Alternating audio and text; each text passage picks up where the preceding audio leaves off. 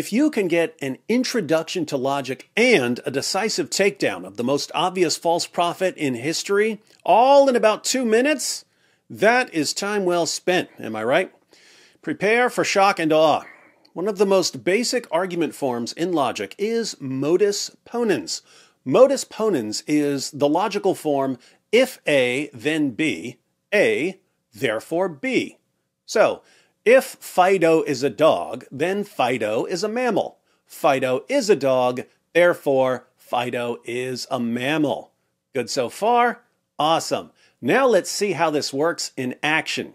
In Surah 69, verses 44 to 46 of the Quran, Allah declares, and if he, Muhammad, had fabricated against us some of the sayings, we would certainly have seized him by the right hand, then we would certainly have cut off his aorta. So Allah says that if Muhammad were to fabricate revelations, he would sever Muhammad's aorta, an artery that you definitely don't want severed.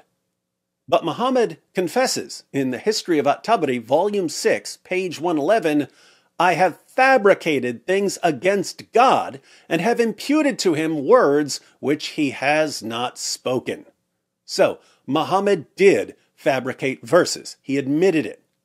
Later, Muhammad says in Sunan Abu Dawud 4498, after being poisoned by a Jewish woman, this is the time when it, the poison, has cut off my aorta.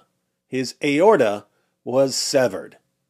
Putting all of this together, if Muhammad fabricated verses, then Allah would sever his aorta.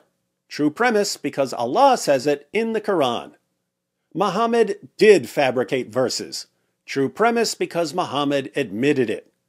Therefore, Allah severed Muhammad's aorta. True conclusion because it follows from our two premises via modus ponens.